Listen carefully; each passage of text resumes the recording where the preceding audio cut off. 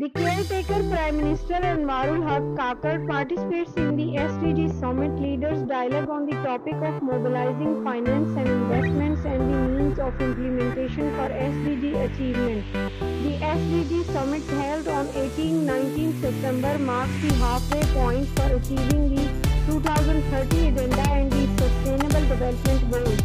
Social Welfare Chaudhry Asad Javed Chaudhry Abdul Majid Hanjra and Adeel Shahzad appreciate this act.